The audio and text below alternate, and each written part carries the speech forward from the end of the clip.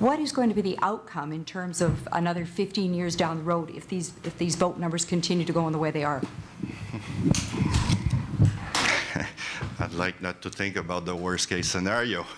Um, uh, Again, we've all, we've already uh, witnessed that in, uh, at uh, some provincial and especially municipal level, where you see voter turnout uh, in many municipalities be- below 30%. Uh, That thing it does is that it, uh, Canadians deny themselves, not voting, deny yourself to make government acco- accountable, to choose your government, to choose the ideas that uh, you value, and choose the representative that will convey your, uh, your ideas and values.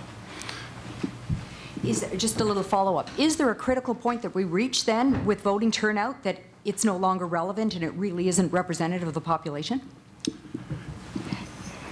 Maybe, but again, the democracy is based on, on the mandate given by those who vote. That's the problem with not voting. If you don't vote, you don't have a say in the affairs of your, uh, in the affairs of the state and the affairs of your government. So again, as long that there are people voting, in theory, they will be elected official.